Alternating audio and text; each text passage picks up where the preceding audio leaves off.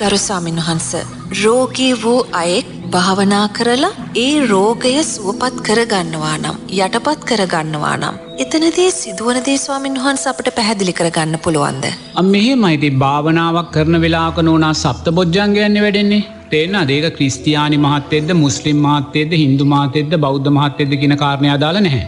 යම් කෙනෙක් මෛත්‍රී භාවනාව කරනවනන් එහම නැත්තන් සමාධි භාවනාව කරනවන දැන් ක්‍රිස්තියානි මහත්තයකුට තට්ටික සංඥා භාවනාකට වඩන පුළුව ක්‍රිස්තියානි මහත්තයකුට සද්ධාව නැති ප්‍රශ්න තියෙනවා. නමුත් එයාටත් මේ කායනු පස්සනා වඩන්න පුළුවන්. නමුත් කවදක්ත් සෝවාන් සකෘදක් මාර්ගයන් කරායන්නේ නැහැ. හිතේ සමාධිය උදෙසා සිතේ සහනය උදෙසා ඒවා වඩන්න පුළුවන් දර බුදුගුණ දම්මානුස්සතිය සංගානුස්සතිය අන්‍යාගම්මුලයි වඩන්න බැහැ. මොකද ඒගොල්ලන්ගේ ශාස්ත්‍ර භාවය තින වෙන ශාස්තුන් වහන්සේ කෙනෙක්නේ. ඉන්නැසුව අන්‍යාගමක කෙනෙකුට වනත් මෛත්‍රී භාවනාව එහම නැත්තං මේ චිත්තානු පස්සනාව වඩන්න පුළුවන්. තිෙන්න ඒක ප්‍රශ්නයක් නැහැ. දර භාවනා වඩන කෙනා තුළ නෝන නිරේ තුරුවම සප්ත බොජ්ජන්ගයන් සකස්වෙනවා. එකැන ප්‍රීතිය පස්සද්දිය සකස්වෙනවා. ප්‍රීතිය පස්සද්ධිය සකස් වෙන තැනදි නෝනා නිරතුරුව මොකක්දවෙන අපේ ලේධාතුව පිරිසිදු වෙන. අපේ ලේධාතුව පිරිසිදු වෙනවා වගේ අපි ඒ එහ මෝතේ නෝනා නිරේතුරුවම සීලේ ආරක්ෂාව තුළ ඉන්න.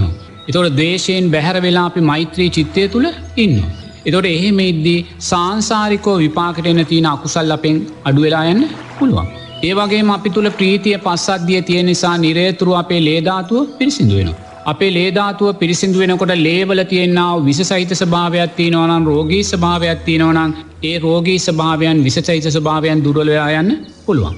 එනිසා නිරේතුරුව නෝනා භාවනා කරන කෙනෙක් තුළ අනිවාර්යම රෝගාබාධවල ස්භාවය අඩුවෙන්න්න ඕනේ නමුත් ඒවා යටපත් කරගෙන භයානක අකුසල් විපාකටෙන්න පුළුවන් ඒ අපිට නෑ කියන්න බැහැ. තේන මොකද රාහුල මහෝත්තමයණන් වහන්සේ තවුරුදු පනස්තුන වෙනකොට පිරිනිවන් පාන. ඉති එතනදී අපිට අතීත අකුසල් සංස්කාරයන් බලවත් නන්න ඕනා ඒවා විපාකට එන්න පුළුවන් ඒක භාවනාවෙන් කෙලක් නවත්තන්න ක්‍රමයක් නැහැ. ඒනිසා බුදුරජන් වහන්සේ දේශනා කරනවා නිරේතුරුවම නිරෝගී භාවය කැමති ගෙනට අර සතර එද්දි පාද ධර්මයන් වඩමින් ජීවත් වෙන්න කියල තමයි බුදුරජාණන් වන්සේ තැදි දේශනා කරන්න. නිරේතුරුවම රෝග තත්ත්වයන් ගැන මතක් කරද්දි වර්තමාන සමාජය නෝනා බලවත් බෝවෙන රෝගයක් බවට පත්වෙලා තියෙන මොකක්ද මානසික රෝගයකින කාරණ. බෝවෙන රෝග බෝනොවෙන රෝග කියලා රෝග දෙකක් තියෙනවානේ එතවට බෝවෙන රෝග ගනයට වැටෙන්නේ ඉතින් ඔය උන වගේ දේවල් එතනින් ගහම ඔය සරම්පෝ වැනි දේවල් බෝවන රෝගනයට වැටෙනවා නමුත් දැන් කවදක්ත් මානසික රෝගය කියන කාරණය බෝවන රෝගයක ගැනෙන්නේ නැහැ. නමුත් වර්තමානයේ නෝනා බලවත්ම බෝවෙන රෝගය බවට පත්වෙලා තියෙන මේ මානසික රෝගයකන කාරණ. බුදුරජාණන් වහන්සේ දේශනා කරනවා යම් කෙනෙක්. උතුම් සෝවාන් පලට පත් වෙලා නැත්තම්. ඒ පුද්ගලයා කිනම් හෝ මානසික ව්‍යාදියකින් පෙළෙනවා කියලා. යම් කෙනෙක් සෝවාන් පලට පත්වෙලා නැත්තන් එයා කිනම් හෝ මානසික ව්‍යාදියකින් පෙළෙනවා කියලා බුදුරන් වන්සේ දේශනා කර. තැන බුදුරන් වන්සේ කියන ඒ මානසික රෝගී භාවයේ මානසික ව්‍යාදියයට සකස් කරන්නේ රූපය කෙරෙයූ තුෂ්නාව නිසා. වේදනාව කෙරෙහියූ තුෂ්නාව නිසා. හඳුනා ගැනීම කෙරෙහි තුෂ්නාව නිසා සංස්කාර විඤ්ඥාණයන් කෙරේ තින තුෂ්නාව නිසා. මේ පංචෝපා දානස්කන්දය කරේ තින තුෂ්නාව නිසාම සෝවාන් පලට පත් නො වූ සෑම පින්වතෙක්ම කිනම් හෝ මානසික ව්‍යාදියකින් පෙළෙනවා කියල බුදුරන් වන්සේ දේශනා කරනවා. ඉති ඒ කාරණය තුළ දකිද්දී මටනම් භික්ෂුවක් හැටියට පේෙන්න්නෝන අපේ වර්තමාන සමාජය තුළ තියෙන බලවත්ම බෝවෙන රෝගේට බට පත්වෙලා තියන්නේ මෙන්න මේ මානසික රෝගය. එස මේ මානසික රෝගය නිසා සමාජය බලවත් ආකාරයෙන් මතගැටුම් කලහවිවාද මේ සෑම දේකටම මුල්භාවයට පත්වෙලා තියෙන්නේ නෝනා.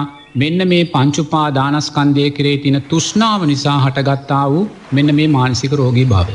මට මතකයිමම් දැන් දවස් තුනකට වගේ ඉස්සෙල්ලා බස් එක කොළඹට එද්දි මංආපු බස් එක බොහම වේගෙන් ආව. අපිගම පැට කිලෝමීට හැත්තෑව විතර වේගෙන් ආව කියලා. ඔය බස් එක වේගෙන් එනකොට නෝනා එක අතුරු පාරකින් බයිසිකලයක් දානව පාරට. ඒ බයිසිකලේ කියන් අර මේ පොඩි බයිසිකරල ස්කූටර් ජාතිය බයිසිකල්තින ඒ බයිසිකලේ මේ පදවන දරුව දෙන්න මේ පාසල් වයිස වගේ දරුව දෙන්නේ උසස් පෙළ වගේ ගන්න ප්‍රමාණය දරුව දෙන්නේ නමුත් මේ දරුව දෙන්නගේ කාටවත් හෙල්මට්හෙකුත් නැහැ. දරුව දෙන්නගේ ප්‍රමාණය දැක්කාම හොඳටම මට තේරවා මේ දෙන්නට කාටවත් බලපත්‍රයකුත් නැහැ. එතොර දැන් මෙහෙමත් වෙලා අරම් දරුව දෙන්න අර බස් එකට එන්නේ ඉස්සරහැ මෙම අතුරු පාරකින් පාට දැම්ම අර බස්කනට හිතාගන්න බැරි විදියට නමුත් එහෙම කෙනෙක් කටයුතු කරනවන්න ඕන එක මානසික රෝගයක්ද නැද්ද අර බයිසිකලෙත් බොහොම පොඩි බයිසිකලයක්. හෙල්මට් දෙහෙකුත් දෙන්නට නෑ. දෙන්නාගේ වයස් ප්‍රමාණයක් ලාබාලයි අනිවාර්යම බලපත්‍රයකුත් නෑ. නමුත් අරසා වේගෙන් ඇවිල පාරට දැම්ම. දැන් අනිවාරයෙන් අපි තේරුම් ගන්න ඕන මේ දරුව දෙන්නා තුළ මානසික ව්‍යාධයක් තියෙන. නමුත් ඒ වානසික ව්‍යාධයෙන්ගේ දරුවා පාට දාලා මොකද කළේ බස් එකට ඉස්සර කලා. බස් එකට ඉස්සර කරනකොටම නෝනා අන්නේ මානසික රෝගය මංගිය බස් එක රියදුරාටත් බෝුණ. මෙච්චරලායට තිබෙනෑ. එයා මොකොද කළේ දැන් එයත් අයියෙන් ගිහිල්ලා අරයාව ඉස්සර කරනවා. තේරුම් ගන්න පැ දැ මං ඉස්සරහයන්නේ මානසික රෝගය කියලා තේරුම් ගන්න පැ නේද.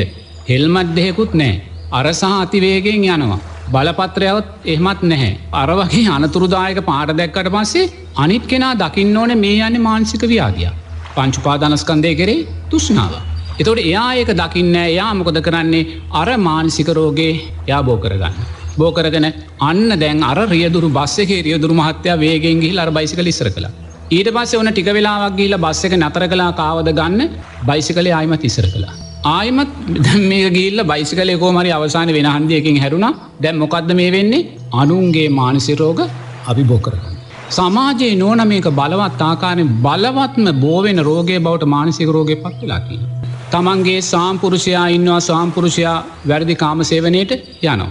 ඇයි මානසික රෝගයක්. තේන්න නැත්තම් බිනිඳ ගෙදර ඉන්නවා සදාචාරයක්ත්තිනවා සිල්පදතිනවා මේ මොකක්වත් සොයන් නැතුව වැරදි කාමසේවනයට මේක බිරිඳ දකිනවා එයාටත් ලෙඩේ බෝවෙනවා එයත් වැරදි පැත්තට යන්න.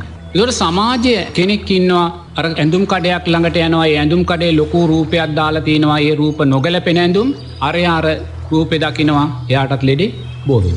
ඒවගේ නෝනා වර්තමාන සමාජය තුළ බලවත් ආකාරයෙන් මේ පංච උපාදානස්කන්දය කරේ තුෂ්නාව නිසා ඇතිකරගන්නාව මේ බෝවෙන රෝගය නෝනා වසංගතයක් වගේ අද සමාජය පුරා පැතිරලෑන්. එනිසා මමනම් භික්ෂුවක් ඇටියට පිළිකාව එහෙම නැත්තං ඔය වගේ රෝග බලවත් රෝග හැටිර දකින්නේ නැහැ.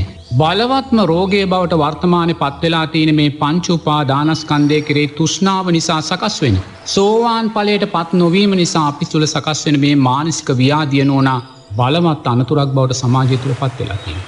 අපේ